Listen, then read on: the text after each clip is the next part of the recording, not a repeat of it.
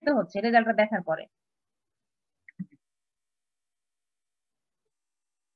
Encourages farmers to participate and allows the host farmer to act as the resource person এখানে host farmer কে তাহলে বলো তো যার ফিল্ডে ওই ইয়াটা করা হয়েছিল। হ্যাঁ যার ফিল্ডে কি করা হয়েছে? রেজাল্ট ডেমনস্ট্রেশন রেজাল্ট ডেমনস্ট্রেশন হ্যাঁ যার প্লটের ডেমনস্ট্রেশনটা করা হয়েছে। রেজাল্ট ডেমনস্ট্রেশনটা সেটা উনি হচ্ছেন হোস্ট ফার্মার তাহলে উনি এখানে রিসোর্স পারসন বলতে কি বোঝাচ্ছি আমরা? বলো তো act as the resource person resource person মানে কি? সম্পদশালী বোঝাচ্ছে এখানে? যার জমির উপর চাষ করা হয়েছে। উনি তো হোস্ট ফার্মার ঠিক আছে। কিন্তু উনি রিসোর্স পারসনের ভূমিকা পালন করে। এখানে রিসোর্স পারসন বলতে কি বোঝাচ্ছি আমরা? ওনার দেখেই তো অন্যান্য ফার্মাররা অনুপ্রাণিত হবে। ম্যাম ওনার মাধ্যমে তথ্যগুলো পায়। আসলে সম্পদ ঠিক আছে কিন্তু এখানে রিসোর্স Information গুলো পায় জ্ঞানী হ্যাঁ ইনফরমেশন উনি জানে নলেজেবল রিসোর্স পারসন হিসেবে কাজ করছে মানে উনি এখানে টাকা পয়সার জন্য উনি রিসোর্স পারসন না সেটা না। হচ্ছে যেহেতু কাজটা নিজে করেছেন তার ফিল্ডে করা হয়েছে কাজে উনি ওই বিষয়টাতে নলেজেবল এখানে নলেজটাকে রিসোর্স হিসেবে বলা হচ্ছে। কাজে উনি এখানে হোস্ট হিসেবে কাজ করবে। যেহেতু উনি সবকিছু জানেন উনি অন্য- অন্যান্য ফার্মারদেরকে এনকারেজ করবেন পার্টিসিপেট করার জন্য এবং উনি, কারও যদি কোনো প্রশ্ন থাকে, সেই আনসারটা কিন্তু এই হোস্ট ফার্মারই দেওয়ার চেষ্টা করবে। এক্সটেনশন অফিসাররা তো থাকবে, ঠিক আছে এগ্রিকালচার অফিসার থাকবেন, কিন্তু এখানে মেন ভূমিকাটা পালন করবে হোস্ট ফার্মার উনি এখানে রিসোর্স পারসন হিসেবে অন্যান্য ফার্মারদের কোনো প্রশ্ন থাকলে, কোনো কোয়ারি থাকলে, কোনো কনফিউশন থাকলে সেগুলো ক্লারিফাই করার চেষ্টা করবেন host farmer build confidence of the farmers অবশ্যই যখন একজন হোস্ট ফার্মার সবগুলো প্রশ্নের অ্যান্সার ঠিক মতো দিতে পারবে, অন্যরা বুঝতে পারবে ঠিক মতো এটা সেটা সবার মধ্যে একটা রিলেশনশিপ এবং কনফিডেন্স তৈরি হবে। অন্যরা বলবে যে, না, ও যখন করতে পেরেছে আমরাও করতে পারব পারব না কেন? আমার প্রতিবেশী করতে পারছে উনি তো আমাদের মতো সাধারণ মানুষ, উনি তো আগে কিছুই পারতেন না। উনি যখন সাহস করে এটা এই টেকনোলজিটা অ্যাডাপ্ট করতে পেরেছেন, তাহলে আমরাও পারব। সবার মধ্যে কিন্তু কি, দেখার পরে একটা কনফিডেন্স তৈরি হয়। এজন্য ডেমনস্ট্রেশন সাইটগুলো কি করা হয়? গ্রামের এমন জায়গায় সিলেক্ট করা হয় বা এমন ফার্মারদেরকে তোমাদের আমি গত ক্লাসে বলেছি, এমন ফার্মারদেরকে দেওয়া হয় যারা হচ্ছে কি সবার মধ্যে পরিচিত সবার চাইতে উনাকে সবাই বেশি বিশ্বাস করে সোসাইটিতে তার একটা সম্মান আছে। কাজেই ডেমনস্ট্রেশন সাইটে ফিল্ডে মাঠ দিবসে আসার পরে সবার মধ্যে কিন্তু কি একটা কনফিডেন্স তৈরি হয় যে না, সবাই পারব আমরা, পারব না কেন? অংশগ্রহণ করার পরে, দেখার পরে নতুন তথ্যগুলো জানার পরে সবার মধ্যে একটা কনফিডেন্স তৈরি হয়। অবশ্যই কমিউনিকেশন তৈরি হচ্ছে। যেহেতু একসাথে আমরা বিশ ত্রিশ জন ফার্মার আসছে, একে অন্যকে সম্পর্কে তারা তাদের মধ্যে একটা কমিউনিকেশন তৈরি হচ্ছে। তারপরে কি এক্সটেনশন ওয়ার্কারদের সাথে একটা কমিউনিকেশন তৈরি হচ্ছে যে আসলে এটা আমরা কীভাবে করব? একে অন্যের সাথে কথা বলার মাধ্যমে, একে অন্যকে প্রশ্ন করার মাধ্যমে একটা কি সম্পর্ক তৈরি হয় কমিউনিকেশন নেটওয়ার্ক তৈরি হয়।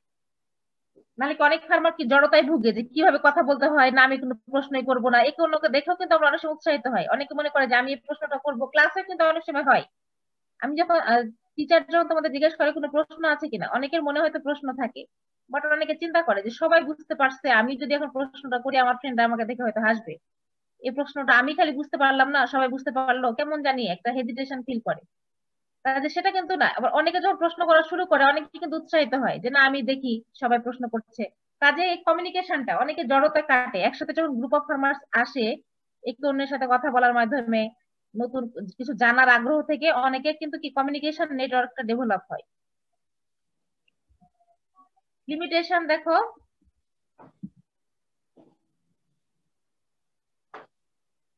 Fixing date and time is difficult এখন আমি এমন সময় মার দিবস দেব যাতে গ্রুপ অফ ফার্মার্স আসতে পারে। অনেক সময় কি হয়, অনেকের সময় মিলে না, একসাথে একত্রিত করা অনেক সময় ডিফিকাল্ট হয়ে যায়। সব সময় না, অনেক সময় ডিফিকাল্ট হয়। দেখা যাচ্ছে পাঁচ ছয় জনের সময় হচ্ছে, অন্যরা অনেক সময় ব্যস্ত আছে, হয়তো গ্রামের বাইরে আছে। কাজে ডেট এবং টাইম মিলিয়ে মাঠ দিবসের জন্য ঠিক করাটা অনেক সময় difficult need expert to manage the program অবশ্যই, যেহেতু এখানে গ্রুপ অফ পিপুলস কে হ্যান্ডেল করতে হবে, তারপরে হচ্ছে কি পুরো প্রসেসটা তুমি শুরু থেকে শেষ পর্যন্ত তুমি কি কি টেকনোলজি বা কি কি প্রসেস ফলো করে রেজাল্টটা পেয়েছ, সেটা সুন্দর মতো ফার্মারদেরকে বোঝানোটা সবাইকে ম্যানেজ করা, সবাই যেন ঠিক মতো দেখতে পারে, শুনতে পারে, সবার প্রশ্নের অ্যান্সার দেওয়া, সবাইকে প্রশ্ন করতে সুযোগ দেওয়া, এই বিষয়গুলো ম্যানেজ করার জন্য কি একজন এক্সপার্টিজের দরকার আছে? নাহলে তুমি কি করতে পারো? হ্যাঁ আপনি কথা বেশি বললেন না, আমাদের সময় নাই, তাড়াহুড়া করো, এটা করো, সেটা করো, তাহলে কিন্তু কি তোমার মাঠ দিবসের উদ্দেশ্যটা কিন্তু ব্যাহত হবে। কাজেই তোমাকে ঠিক মতো ম্যানেজ করাটাও কিন্তু একটা লিমিটেশন থাকে অনেক সময়। ঠিক মতো করতে পারলে তো ভালো, কিন্তু অনেক সময় তুমি যদি এক্সপার্ট লোক দ্বারা ম্যানেজ না করো পুরো মাঠ দিবস তাহলে সেটা অনেক সময় বিশৃঙ্খলার সৃষ্টি করতে পারে। তোমরা কি এই অ্যাওয়ার্ডটার সাথে কখনো পরিচিত হয়েছো কিনা বলো? ফার্মার্স ফিল্ড স্কুল কখনো শুনেছো এটা? না ম্যাম আচ্ছা, ম্যাম না দোষের আমার কিছু স্লাইডটা একটু আরেকবার দেখালে ভালো কোনটা? ম্যাম ওই লিমিটেশন আচ্ছা। ফিক্সিং ডেট এন্ড টাইম সময় এবং তারিখ ঠিক করাটা অনেক সময় ডিফিকাল্ট সবার সাথে মিলিয়ে। এবং পুরো প্রোগ্রামটা ম্যানেজ করার জন্য একজন এক্সপার্ট লোকের প্রয়োজন পড়ে। একজন এক্সপার্ট বলতে সেটা বাইরের কেউ নাও হতে পারে ওই ফার্মারদের মধ্যে থেকেই। এটা হোস্ট ফার্মারও এক্সপার্টিস হলে ভালো বা এক্সটেনশন ওয়ার্কার যারা অংশগ্রহণ করবেন তাদের মধ্যে থেকেও এক্সপার্টিস বাইরে থেকে হায়ার করতে হবে বিষয়টা কিন্তু এরকম না। ওনাদের মধ্যে যদি এক্সপার্ট কেউ থাকে তাহলে কিন্তু প্রোগ্রামটা সাকসেসফুলি শেষ করা সম্ভব। আচ্ছা ম্যাম ফিল্ডে কস্ট ইফেক্টিভনেস ব্যাপারটা একটু বলবেন। আচ্ছা কস্ট ইফেক্টিভনেস বলতে তুমি দেখো তুমি যেহেতু ডেমনস্ট্রেশন সাইটের পাশেই গ্রুপ অফ ফার্মারকে ডাকছো একসাথে তুমি কি করছ এটা? একটি অল্প সময়ে অনেকজন ফার্মারকে বিশ ত্রিশ জন বা পঁয়ত্রিশ জন ফার্মারকে একসাথে অল্প সময়ে তুমি ফলাফলটা দেখাতে পারছ। তাহলে তোমার কি খরচ কম হচ্ছে কিনা বলো? কস্ট ইফেক্টিভ হচ্ছে। কারণ তুমি যদি একজন একজন করে ডেকে দেখাইতা তাহলে কি তোমার খরচ বেশি হতো না? সময় বেশি লাগতো? এই বিষয়ে অল্প সময়ে তুমি গ্রুপ অফ ফার্মার্সকে দেখাতে পারছ তোমার টেকনোলজিটা কাজে তোমার তো কস্ট ইফেক্টিভ হচ্ছে। জি ma'am thank you farmers field school এটা আবার কি তাই না? যে কৃষকের কৃষক আবার স্কুলে যাবে বিষয়টা আসলে কেমন? আচ্ছা তোমরা একটু দেখার চেষ্টা করো। যদিও এখন অনেক উপজেলায় ফার্মার ফিল্ড স্কুল নাই বললেই চলে এটা বেশ আগের। তবে এটা খুবই উপকারী ছিল ফার্মারদের জন্য এখান থেকে ফার্মারদের আসলে অনেক বেনিফিট হয়েছে। এখন কিছু কিছু উপজেলা আছে সব উপজেলায় নাই তবে এটা আমাদের শিখতে হবে ফার্মার ফিল্ড স্কুল তাহলে ফার্মার ফিল্ড স্কুলটাকে আমরা কি বলব দেখো? Farmer field school is described as a platform and school without walls খেয়াল করো, এটা কিন্তু নর্মাল স্কুলের মতো না। যেখানে আমরা স্কুল বলতে কি চিন্তা করি? যেখানে বাউন্ডারি থাকবে, সুন্দর হচ্ছে কি বিল্ডিং থাকবে, এরকম বিষয়টা না। ফার্মারের নাম শুনে বোঝা যাচ্ছে যে ফার্মাররা ফিল্ডে বসে ক্লাস করবে। তাদের খেতে যেখানে তারা জমি চাষ করে, সেখানেই বসে তারা ক্লাস করবে। তাহলে এটা হচ্ছে কি? একটা স্কুল উইদাউট অল আবার খেয়াল করো it is a participatory it is a participatory extension approach of learning তাহলে এখানে কি, এখানে পার্টিসিপেটরি থেকে আমরা বুঝতে পারছি কি, এখানে যে গ্রুপ অফ ফার্মার্স এখানে একসাথে পার্টিসিপেট করে। Farmers field school consist of twenty five to thirty members তাহলে একটা ফার্মার্স ফিল্ড স্কুলে কতজন থাকে ফার্মার পঁচিশ থেকে ত্রিশ জন। এবং এটা একটা participatory extension approach of learning participatory ওয়েতে শেখাটা হয়। আচ্ছা তোমাদের আমি আর একটু ডিটেলস বলি first farmer field schools were conducted in eight- 1989 or 1990 in Indonesia. তাহলে প্রথম শুরু হয়েছিল কোথায় ইন্দোনেশিয়াতে এই ফার্মার ফিল্ড স্কুলের কনসেপ্টটা These first farmer field school were designed to educate farmers on the principles of integrated pest management. আচ্ছা তোমরা কি আইপিএম এটা শুনেছো এই ওয়ার্ডটা নাকি শোনো নাই না শুনলে দোষ নাই শুনেছো কি আইপিএম জি ম্যাম শুনছি? কোথায় শুনেছো সমন্বিত বালাই দমন। হ্যাঁ সমন্বিত বালাই ব্যবস্থাপনা। এটা কোথায় শুনেছো? ক্লাসে? নাকি এটা এমনি নিজে থেকে কোথাও শুনেছো? ক্লাসেই ম্যাম। ম্যাম লিফলেটের মধ্যে বলছিল। আচ্ছা হ্যাঁ আইপিএম দেখো এটা হচ্ছে কি তোমাদের এন্টোমোলজিতে হয়তো ডিটেলস পড়ানো হবে এন্টোমোলজি যখন তোমরা পড়বা। যখন এটাতে পাঁচ ধরনের সিস্টেমের মধ্য দিয়ে আমরা একটা পেস্টটাকে কন্ট্রোল করব। পাঁচটা এর মধ্যে আছে বায়োলজিক্যাল কন্ট্রোল তারপর হচ্ছে মেকানিক্যাল কন্ট্রোল ফাইনালি আমরা সাজেস্ট করব কেমিক্যাল কন্ট্রোল এটা তোমরা এটা তোমাদের ডিটেলস তোমরা এন্টোমোলজিতে পড়বা। তোমরা শুধু একটু বেসিক কথাটা শোনো। এটা তোমাদের পাঁচটা জানা দরকার নাই এক্সটেনশনের জন্য। কিন্তু বিষয়টা হচ্ছে পাঁচটা ধাপ আছে। এমন হতে পারে, শোনো, আমি পোকাটা কীভাবে দমন করতে পারি? আমি যদি ল্যান্ড প্রিপারেশন থেকে শুরু করে আমার যে ইন্টারকালচারাল অপারেশনগুলো আছে সবগুলোতেই আমি যদি সঠিক নিয়ম মেনে চলি তাহলে কিন্তু পোকা আক্রমণ হবে না। এটা একটা আইপিএম এর ধারণা। কিংবা কি? বায়োলজিক্যাল কন্ট্রোল বায়োলজিক্যাল কন্ট্রোলটা হচ্ছে দেখো কিছু বন্ধু পোকা আছে। বন্ধু পোকা এবং ক্ষতিকর পোকা। তোমরা কি অনেক সময় টেলিভিশন বা কোথাও অনুষ্ঠান দেখার কথা? বন্ধু পোকা। বা যে ব্যাং ব্যাং পোকা খায় এটা তোমরা জানো তো নাকি? ব্যাং যে পোকা খায়?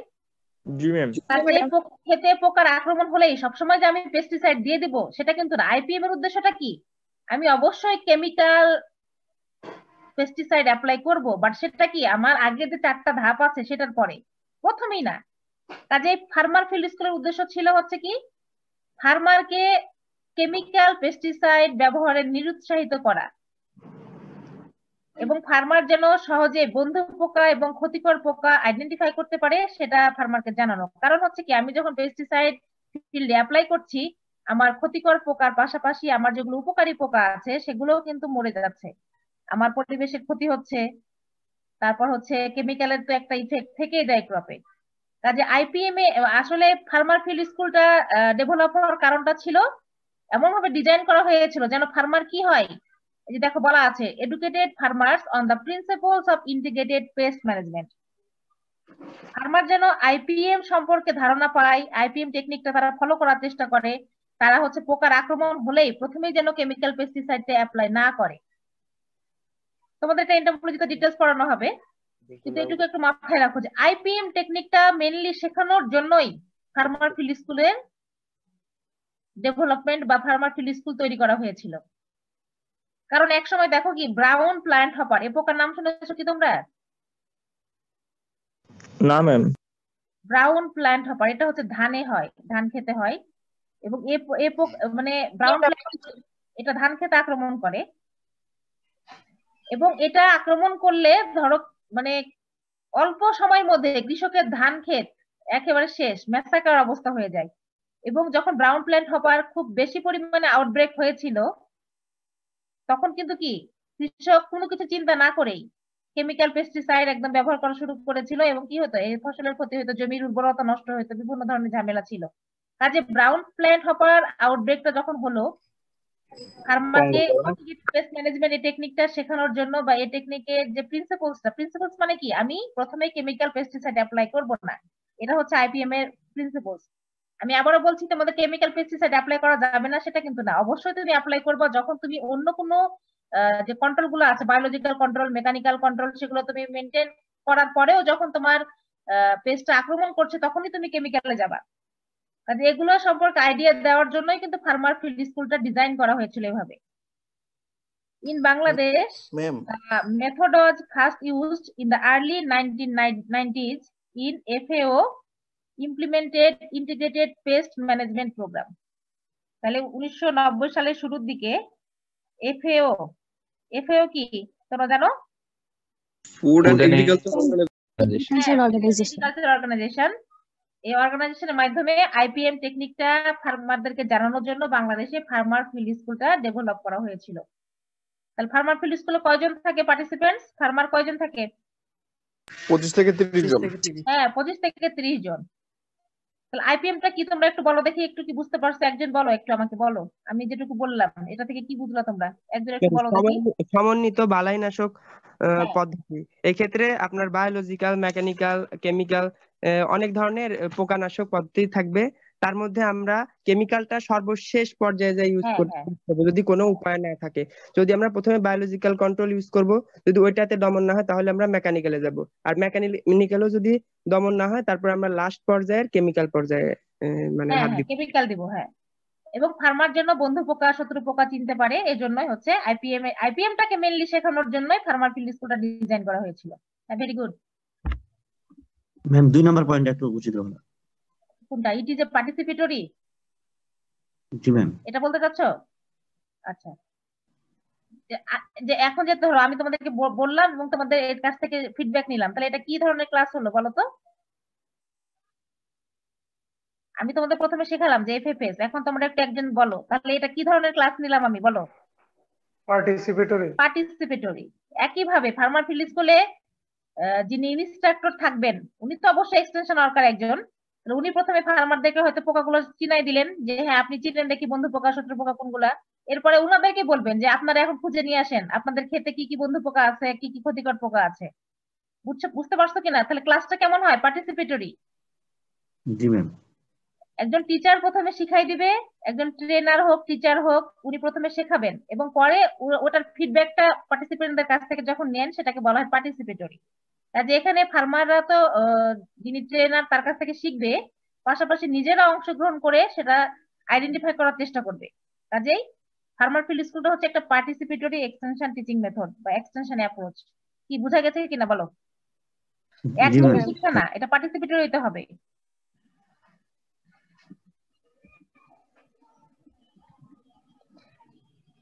তাহলে দেখো আরেকটা বিষয় যে ফার্মার ফিল্ড স্কুল ডিজাইন করা হয়েছিল to teach farmers practically how to identify harmful and beneficial insects farmer যেন প্র্যাকটিক্যালি ক্ষতিকর এবং বন্ধু পোকা চিনতে পারে, সেটার জন্য ফার্মার ফিল্ড স্কুল ডেভেলপ করা হয়েছিল। প্র্যাকটিক্যালি ফার্মার শুধু ছবি দেখে না, আমরা তো ছবি দেখে শেখাতে পারি, কিন্তু প্র্যাকটিক্যালি যেন সে আইডেন্টিফাই করতে পারে।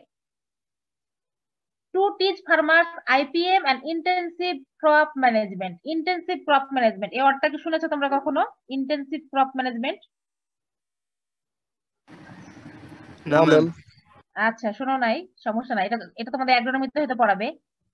ফসলের নিবিড় নিবিড় ভাবে যত্ন নেওয়া। পোকার আক্রমণ যদি আমরা দমন করতে চাই, আমাকে কিন্তু বললাম কি, তোমাকে ল্যান্ড প্রিপারেশন থেকে শুরু করে একদম হারভেস্টিং পর্যন্ত তোমাকে ম্যানেজমেন্টগুলা মানে মেনটেন করতে হবে। অনেক সময় আমাদের জমি প্রস্তুত করার সময় অনেক ভুল থাকতে পারে। যেমন জমিটা হয়তো তুমি সঠিকভাবে হাল হাল দ্বারা মানে চাষ করো নাই, কিংবা হয়তো শুরুর দিকে কিছু ফার্টিলাইজার দেওয়া দরকার ছিল। তারপর হচ্ছে কি, তুমি যে ইন্টারকালচারাল অপারেশনগুলো করবা উইডিং মালচিং ফার্টিলাইজেশন সব ধাপে মানে একটা পুরা ক্রপ কাল্টিভেট করার শুরু থেকে শেষ পর্যন্ত তোমাকে ইন্টেন্সিভলি ম্যানেজমেন্ট করতে হবে। তাহলেই তুমি কিন্তু কি, পোকার আক্রমণ বলো বা বিভিন্ন যে রোগ বালাই হয় সেটা থেকে তুমি রক্ষা করতে পারবা। কাজে ফার্মারকে এটা শেখানো যে কীভাবে আইপিএম জিনিসটা আসলে কি? ইন্টিগ্রেটেড পেস্ট ম্যানেজমেন্ট এটা কয়টা ধাপ আছে, কখন কোনটা আমি অ্যাপ্লাই করব এবং একটা ক্রপ কীভাবে ইন্টেন্সিভলি ম্যানেজ করতে হয়? সেটা শেখানোর জন্যই কিন্তু ফার্মার ফিল্ড স্কুলটা ডিজাইন করা ছিল। কারণ অনেক সময় ফার্মার হয় কি মানে এলোমেলো ভাবে করে যে, অত গুরুত্ব সহকারে না ইন্টেন্সিভলি করে না। জমি চাষ করার দরকার করল, যখন পানি দেওয়া দরকার দিল দিল না। এটা না ইন্টেন্সিভলি ক্রপ ম্যানেজমেন্ট সিস্টেমটা শেখানোর জন্য ফার্মার ফিল্ড স্কুল হেল্প করেছে ফার্মারদের আচ্ছা দেখো ক্রপ ডাইভার্সিফিকেশন এটা কি বোঝো তোমরা? ক্রপ ডাইভার্সিফিকেশন নো ম্যাম আচ্ছা ক্রপ ডাইভার্সিফিকেশন মানে কি? যদি বাংলা বলতে চাই একটু বাংলাটা বলো। ডাইভার্সিফিকেশন মানে কি? ম্যাম মানে একই বছর ওই জমিতে সেম টাইপের ফসল না ফলানো। হ্যাঁ এই যে এটা করতে হবে। আমরা কিন্তু এটা ভুল করি। আমরা দেখা যায় ধান তো ধান ধানের পরে ধান ধানের পরে ধান ধান চাষই করছি জমিতে। এতে কি হচ্ছে? ক্রপ রোটেশন বলো এটাকে ক্রপ রোটেশনও ঠিক আছে ওটা একটা। কিন্তু এটা হ্যাঁ ক্রপের বৈচিত্র্য বা রোটেশনও হতে পারে। ঠিক আছে একই চলবে কথাটা হ্যাঁ। একটার পরে আর একটা ক্রপ করা। কেন করা? কারণ তুমি যখন বারবার ধান করছ ধান করছ, তাহলে যে ধানের পোকা যেটা ব্রাউন প্ল্যান্ট হপার সে তো ওখানে থাকবে, তাই না? ওখানে তো সে বাচ্চা কাচ্চা ডিম নিয়ে বসে আছে। কাজে সে কিন্তু কি হচ্ছে? বারবার আক্রমণ করছে তোমার ক্ষেত্রে। কিন্তু তুমি যখন ধানের পরে পাট করবা, গম করবা, অন্য ফসল করবা, তখন কিন্তু কি? ওই পোকা কিন্তু তোমাকে আক্রমণ করবে না। সে দেখা যাবে ওখান থেকে হয়তো চলে যাবে বা সে হয়তো মরে যেতে পারে, খাবার না পেয়ে, এরকম বিষয়টা। কাজে বারবার এক ফসল কিন্তু করা যায় না। ক্রপ ডাইভার্সিফিকেশন করলে তোমার পোকার আক্রমণটা কিন্তু কম হবে। আর একটা কি হবে? তোমার মাটির উর্বরতা। মাটির উর্বরতা কীভাবে কম হবে বলো? বা মাটির উর্বরতা বৃদ্ধি করা যায়? একই ফসল বারবার করলে কি মাটির উর্বরতা বাড়ে না কমে? তোমাদের কি মনে হয়? কমে। কমে যাবে। হ্যাঁ, যাবে। ধানের পরে যদি তুমি লিগুমিনিসি ক্রপ তোমাদের সয়েল সায়েন্সে পড়ানো হবে হয়তো। লিগুম জাতীয় লিগুম জাতীয় ক্রপ কি পড়েছো কি তোমরা এখনও? লিগুম ক্রপ ম্যাম জি ম্যাম হ্যাঁ নাম বলো দেখি। ম্যাম সিম মটরশুটি হ্যাঁ ডাল জাতীয় যে পালসেসগুলো আছে বাকি ধনচা ধনচা শোনো নাই? ধনচা গ্রিন ম্যানুরিং ক্রপ যেগুলা। তাহলে তুমি এ- এই ক্রপগুলো যখন জমিতে করবা তাহলে কি হবে? তারা নাইট্রোজেন ফিক্স করে। তোমার সয়েল সায়েন্সে তোমাদের ডিটেলস তাদের যেহেতু নোডিউলস থাকে তাদের তাদের যে মূল বা রুট যেটা আমরা বলি তাদের রুটে কিন্তু কি নোডিউল থাকে এবং তারা মাটিতে নাইট্রোজেন ফিক্স করতে সহায়তা করে। কাজে মাটির উর্বরতা বাড়ে। এবং তুমি যখন ক্রপগুলো হারভেস্ট করে বা ধইঞ্চা তারপর হচ্ছে কি ধইঞ্চা ছাড়া হচ্ছে ইপিল ইপিল এই জাতীয় গাছগুলো যখন তুমি ক্রপে করবা এবং মাটির সাথে মিশাই দিতে হবে কিন্তু, এগুলো গ্রিন ম্যানিউর হিসেবে কাজ করে। তাহলে কি হবে? মাটির উর্বরতা বাড়বে। কাজে তুমি বারবার কি করবে? একই ক্রপ জমিতে চাষ করলে মাটির উর্বরতা কমে যায় এবং পোকার আক্রমণটাও কি কমানো যায় না। কাজেই দেখো টু ইন্ট্রোডিউস ফার্মার ফিল্ড স্কুলের মাধ্যমে ফার্মারদেরকে শেখানো হয়েছিল যে কীভাবে ক্রপ ডাইভার্সিফাইড করে জমিতে চাষ করতে হয়। একই ক্রপ বারবার করতে হয় না। পোকার আক্রমণ যদি আমি কমাতে চাই, আমাকে তাহলে কি হবে? ক্রপ রোটেশন বা ক্রপ ডাইভার্সিফিকেশন মেনটেন করতে হবে। Learning continues for a crop season তাহলে একটা ফার্মার ফিল্ড স্কুলের লার্নিং কতদিন থাকতো? একটা ক্রপিং সিজনে হয়তো যদি কোনো একটা ফার্মার ফিল্ড স্কুল রবি সিজনে শুরু হইতো, তাহলে পুরো রবি সিজন ধরেই কিন্তু কৃষকদেরকে শেখানো হতো যে এই ক্রপটা আপনি কীভাবে ম্যানেজ করবেন। রবি ক্রপ যেগুলো আছে আপনি এই ক্রপটা কীভাবে ম্যানেজ করবেন ইন্টেন্সিভলি এই ক্রপের পরে আপনি কোন ক্রপটা কাল্টিভেট করবেন? এই ক্রপে কি কি বন্ধু পোকা আছে শত্রু পোকা আছে? কাজে একটা লার্নিং একটা ফার্মার ফিল্ড স্কুলের স্থায়িত্ব তাহলে কি হয়তো বলতো? একটা ফার্মার ফিল্ড স্কুল কতদিন স্থায়ী হতো? এক সিজন এক এক সিজন হ্যাঁ একটা ক্রপিং সিজন ধরে।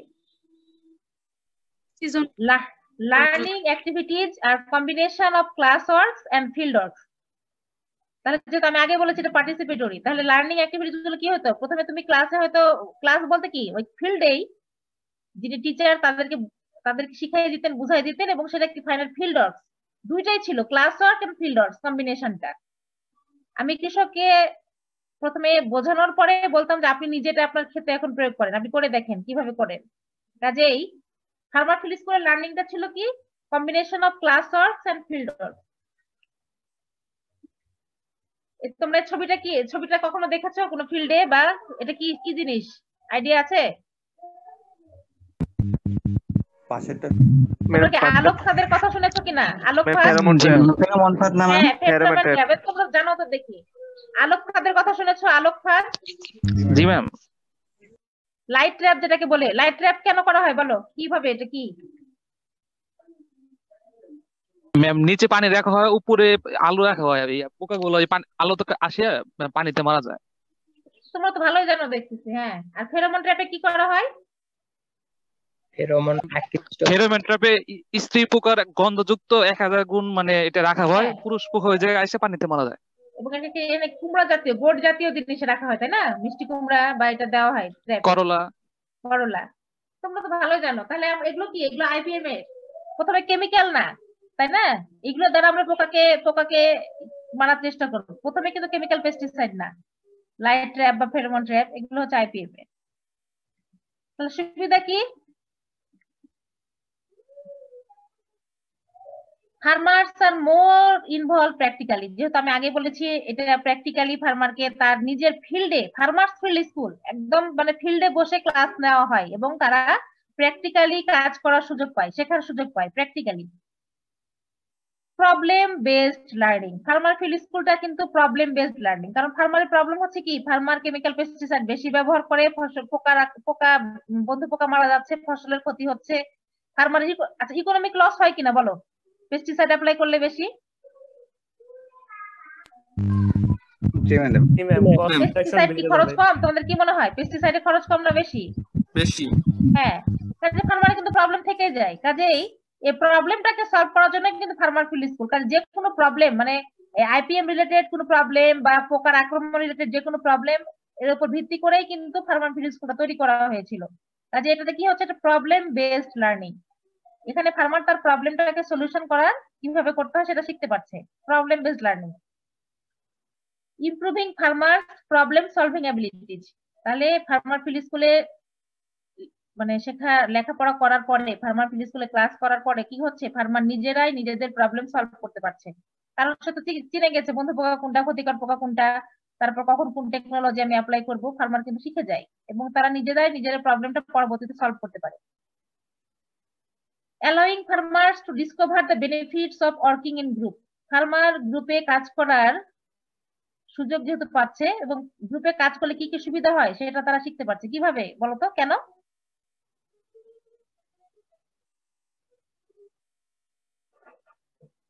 গ্রুপে কাজ করার বেনিফিটটা কীভাবে পাচ্ছে ফার্মার বলো। ম্যাম হয়তো একটা কৃষক একটা বিষয় বেশি জানে একটা বিষয় আর একটা কৃষক একটা বিষয় কম জানে, এভাবে মানে শেয়ারিং হচ্ছে আর কি। হ্যাঁ এটা একটা বিষয়। কিন্তু প্রথম কথা হচ্ছে আমাদের কি, এখানে আমরা কয়জন ফার্মারকে নিয়ে কাজ করছি? পঁচিশ বা ত্রিশ? তাহলে একসাথে যখন কাজ করছি, তোমাদের আমি আগে তোমাদের ক্লাসে বলেছি কি, আমি শিওর না, আমি আবার বলছি। পোকার ক্ষেত্রে দেখো, এখন যদি বিশ ত্রিশ জন ফার্মারের ধরো বিশ ত্রিশটা প্লট আছে, তাই না? সবাই তো ধরো জমি আছে, অল্প হোক, বেশি হোক। এখন একজন ফার্মার তার জমিতে আগে কীটনাশক দিয়ে দিল বা পেস্টিসাইড আগে দিয়ে দিল। আগে যেটা করতো এখন অন্য ফার্মাররা কিন্তু তখনও তাদের জমিতে পেস্টিসাইড দেয়নি। তাহলে কি হবে? অন্য জমিতে কি পোকাগুলো বেঁচে থাকবে না মরে যাবে? বেঁচে থাকবে। তখন কি হবে? তোমার কি লাভ হবে? কারণ ওই পোকাগুলো তো বেঁচে আছে। তুমি হয়তো কিছুদিন পরে আবার ওই পোকাগুলো আক্রমণ করবে। কিন্তু যখন আমি গ্রুপ অফ ফার্মার একসাথে আমি কীটনাশকগুলো দিব সবার জমিতে বা একই মতো টেকনোলজি হয়তো সবার জমিতেই লাইট ট্র্যাপ সবার জমিতেই ফেরোমন ট্র্যাপ। তাহলে কি হচ্ছে? একসাথে পোকাগুলো দমন হচ্ছে। তাহলে কি সবার ক্ষেত্রে একসাথে মানে পোকা মুক্ত হওয়ার সম্ভাবনা আছে। কিন্তু একজন ব্যবহার করল, আরেকজন করল না, তাহলে কিন্তু হয় না। তাহলে গ্রুপের এটা একটা সুবিধা। যারা একসাথে পঁচিশ তিরিশ জন মিলে একটা ফার্মার ফিল্ড স্কুল ছিল, তারা সবাই মিলে গ্রুপে থাকছে। এবং কি তারা একসাথে কাজ করল। আবার কি একসাথে হারভেস্ট করে, একসাথে যদি একসাথে ট্রান্সপোর্ট করে তারা মার্কেটে নিয়ে যেতে ট্রান্সপোর্ট কষ্ট কমবে না বাড়বে? বলো। কমে যাবে এভারেজে কমে যাবে ম্যাম এবারে কমে যাবে। আবার কি তারা যদি তারা যদি আবার স্ট্রিক্ট থাকে যে না আমরা সবাই একই মতো দামে বিক্রি করব যেটা আমাদের দেশে আসলে অভাব। আমাদের দেশে কৃষকদের কি কমিউনিটি বা গ্রুপের কিন্তু অভাব। তারা যদি মনে করে যে না আমরা একই মতো দাম রাখব তাহলে কিন্তু মিডল ম্যান কিন্তু ঢুকার সুযোগ পায় না। আমাদের কৃষকরা দেখো একটা ক্রপের দাম ধর দুই টাকা পাচ্ছে। মিডল ম্যানরা সেটা দুই টাকায় নিয়ে যেয়ে বিক্রি করছে দশ টাকায়। কিন্তু আমাদের কৃষকরা কিন্তু বঞ্চিত হচ্ছে। কাজে তারা যদি গ্রুপে কাজ করতে পারতো বা গ্রুপে যদি থাকতে পারতো যে না, আমরা একই সময় হারভেস্ট করব, একই সময় মার্কেটে নিয়ে যাব, একই দামে বিক্রি করব, তাহলে কিন্তু কি অন্যরা এটা সুযোগটা নিতে পারতো না। আচ্ছা ফার্মার ফিল্ড স্কুলে কি হয়, একসাথে যেহেতু কাজ করে পঁচিশ থেকে ত্রিশ জন, তাহলে তারা কি হয়, যদি তাদের মধ্যে গ্রুপটা ঠিক মতো থাকে পরবর্তীতেও, তারা কিন্তু কি এটা থেকে লাভবান হতে পারতো বা পারে। যদি তারা এই গ্রুপটাকে মেনটেন করতে পারে। Learns better leadership communication and management skills এটা তো বুঝতে পারছ, একসাথে গ্রুপে ধরো, একটা ক্রপিং সিজন ধরে তারা একসাথে শিখে। তাদের মধ্যে কি হয়? কেউ নাকি লিডারশিপ তৈরি হয়। সবার মধ্যে হয়তো অল্টার করে করে টিচার বলেন যে, আজকে তুমি বলো তো গত ক্লাস আমরা কি শিখেছি? তারপর তুমি বলো কি বন্ধু মানে একে অন্যকে অল্টার করে করে একে অন্যের মধ্যে লিডারশিপ ডেভেলপমেন্ট করা যায়, একে অন্যের সাথে কমিউনিকেশনটা ভালো হয়। এবং তারা কীভাবে তাদের সামনে কোনো প্রবলেম আসলে বা কোনো ক্রপ কীভাবে ম্যানেজ করতে হয় সেটা কিন্তু তারা জানে। কাজে গ্রুপে কাজ করলে কিন্তু এগুলো শেখা যায়। এটা যে কোনো গ্রুপে শুধু ফার্মার্স এর গ্রুপে না, তোমরা নিজেরাও দেখো গ্রুপে যখন কাজ করো লিডারশিপ কমিউনিকেশন এবং ম্যানেজমেন্ট স্কিলসটা কিন্তু ডেভেলপ হয়। ফার্মারের ক্ষেত্রে এক। ফাইনালি দেখো চেঞ্জেস ফার্মার অ্যাটিটিউড এটা তো অবশ্যই। ফার্মার যখন একটা নতুন কিছু শিখলো, তার আচরণগত পরিবর্তন অবশ্যই আসবে। সে তখন কি হবে? কেমিক্যাল পেস্টিসাইড ব্যবহারের ক্ষেত্রে নিরুৎসাহিত হবে। সে অন্য টেকনোলজি গুলো অ্যাপ্লাই করবে আগে। পরে যখন সে না পারলে কেমিক্যালে যাবে। প্রথমে সে কিন্তু কেমিক্যালে যাবে না। ফার্মাফিল্ড স্কুল থেকে শেখার পরে। তার আচরণে কিন্তু একটা পরিবর্তন আসবে। লিমিটেশন অনেক সময় কি দেখো, পঁচিশ ত্রিশ জনের বাইরে কিন্তু আমি ফার্মারকে এখানে নিতে পারব না। বেশি লোকজন, যদি অনেক ফার্মার থাকেও, সেক্ষেত্রে কি ফার্মার স্কুলে বেশি লোকজন নেওয়া একটা ডিফিকাল্ট যেহেতু আমার গ্রুপ পঁচিশ ত্রিশ জনের মধ্যেই সীমাবদ্ধ। Feedback is difficult to obtain অনেক সময় হয় কি, ফার্মাররা যদি নন কোঅপারেটিভ হয়, তারা শুধু আসলো, গেল ক্লাসে অত বেশি মানে কথাবার্তা বলল না। তারা বেশি নন কোঅপারেশন যদি থাকে কোঅপারেশন না থাকে, তাহলে কিন্তু কি ফিডব্যাকটা পাওয়া ডিফিকাল্ট আসলে তারা কতটুকু শিখলো, তারা সেটা পরবর্তীতে অ্যাপ্লাই করবে কিনা?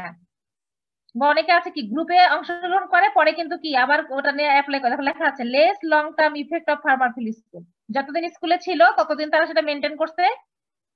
যখন পড়াশোনা শেষ ক্রপিং সিজন শেষ, তারা কি ওটা মেনটেন করছে না। আবারও কেমিক্যাল পেস্টিসাইড অ্যাপ্লাই করছে। এটা অনেক সময় হয়। এক্সপেন্সিভ একটা ফার্মার ফিল স্কুল একটা ক্রপিং সিজন ধরে মেনটেন করা, এটা কিন্তু একটা এক্সটেনশন অর্গানাইজেশনের জন্য একটা কি ব্যয়বহুল একটা বিষয়। কারণ গ্রুপ অফ ফার্মারকে মেনটেন করতে হয়। তাদেরকে কিছু, এই যে নাস্তা বা তাদের কিছু ম্যাটেরিয়াল সাপোর্ট দিতে হয়।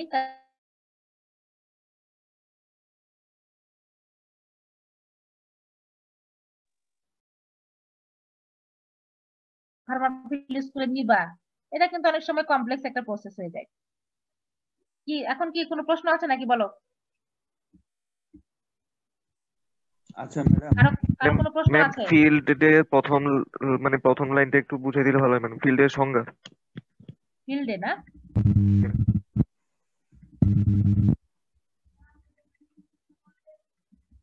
আচ্ছা আমি দেখাচ্ছি।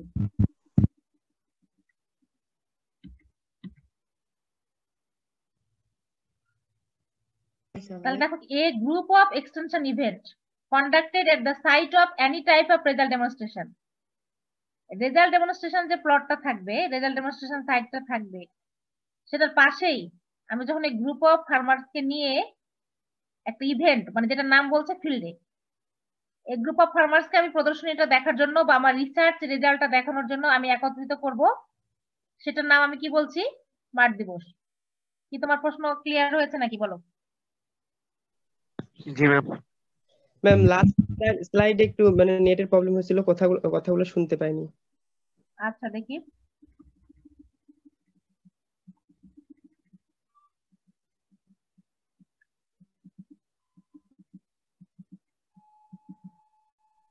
হ্যাঁ ম্যাম কোথায় লাস্টে প্রব- বলো কোথায় প্রবলেম লাস্টে তিনটা।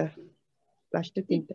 আচ্ছা সিলেকশন প্রসেসটা অনেক সময় কমপ্লেক্স কিনা বলো? মানে পঁচিশ তিরিশ জন ফার্মার তুমি কোন ফার্মারকে সিলেক্ট করবা কোন ফার্মারকে করবা না এটা কি অনেক সময় জটিল জটিল হয়ে যায় কিনা বলো?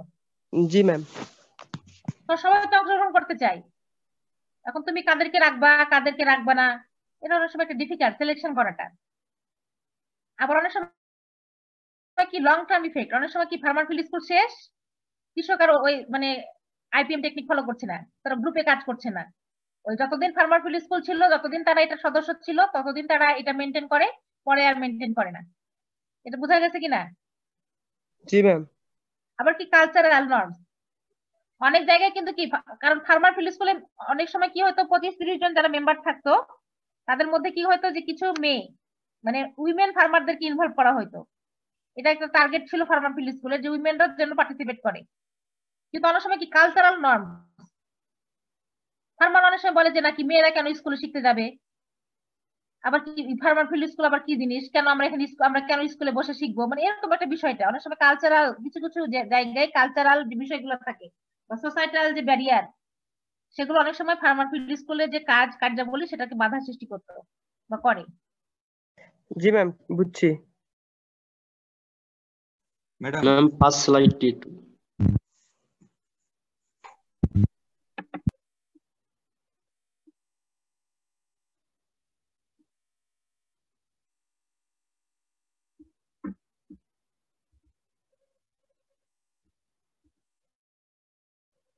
তোমাদের কোনো প্রশ্ন আছে নাকি বলো?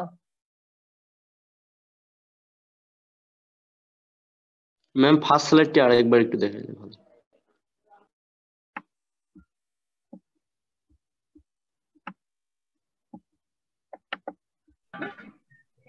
ম্যাডাম পঙ্গপাল কি গ্রাউন্ড হ্যাঁ ব্রাউন প্ল্যান্ট হবার কারণে সব পঙ্গপালও বলা হয়তো ঠিক আছে। ম্যাডাম এটা কাজটা কি ছিল? ব্রাউন? প্ল্যান্ট হপারের ব্রাউন প্ল্যান্ট হপারে কি শীষ কেটে ফেলতো ধানের? ব্রাউন প্ল্যান্ট হপার হ্যাঁ। ধানের শীষটা কেটে ফেলে এবং হচ্ছে